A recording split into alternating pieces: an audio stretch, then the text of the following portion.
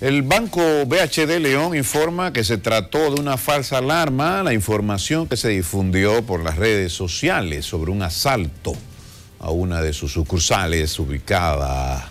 está en la avenida Camino Chiquito de Arroyo Hondo en el Distrito Nacional. La entidad financiera indica que se trató de un cliente que fue a depositar una cantidad de dinero acompañado de varias personas y un vecino interpretó mal la situación y llamó al sistema de emergencias y seguridad 911, lo que resultó ser incierto, lo del asalto.